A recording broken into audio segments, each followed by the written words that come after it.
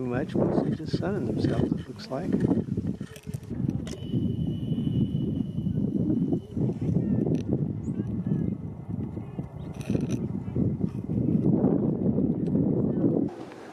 What the heck happened here? Oh, here it is.